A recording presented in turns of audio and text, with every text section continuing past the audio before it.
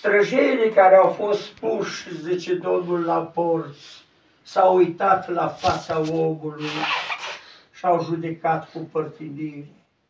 Eu nu mă uit la fața omului. Eu mă uit la inimă și dacă este dorințe de viață, eu sunt viața. Amin. Iată ce zice Domnul.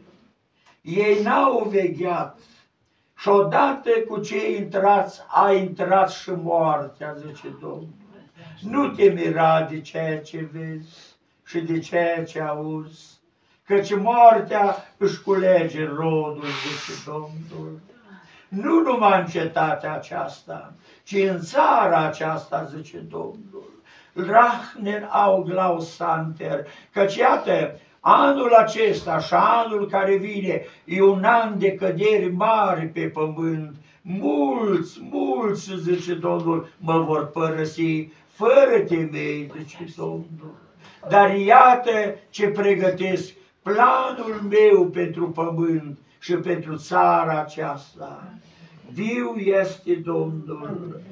Va veni o grapă mare o unealtă care sfarmă bulgăre după plug, zice Domnul. Voi pune la grapa aceasta o fiară sălbatică, zice Domnul, un duh ca la o fiară care va fi în mintea unei căpeteni a pământului, zice Domnul, și va trage grapa aceasta fără milă, zice Domnul. Nu va avea milă nici de bătrâni și nici de mama care alătează, zice Domnul. Va fi o vreme de groază, zice Domnul, căci iată, pământul va fi răscolit căci planul meu este să aduc o trezire și dacă se va trezi cineva, va rămânea în picioare și va fi scăpat, zice Domnul. Dar dacă nu, va fi amestecat cum se zdrobesc bulgării, zice Domnul, și în urmă rămâne arătura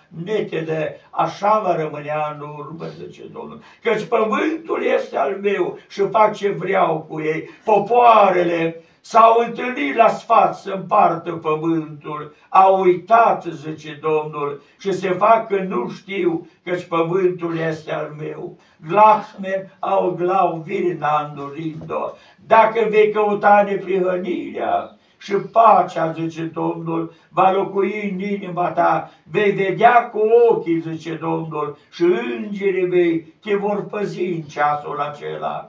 Viu este Domnul, vremea este aproape, pregătește-te pentru aceasta, că va veni fără veste, te vei ruga seara și dimineața vor fi alte legi. 12 amin.